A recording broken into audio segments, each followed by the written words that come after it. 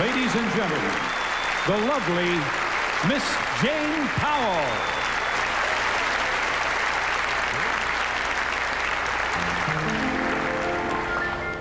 I'll never forget the people I met, braving those angry skies. I remember well as the shadows fell, the look of hope in their eyes.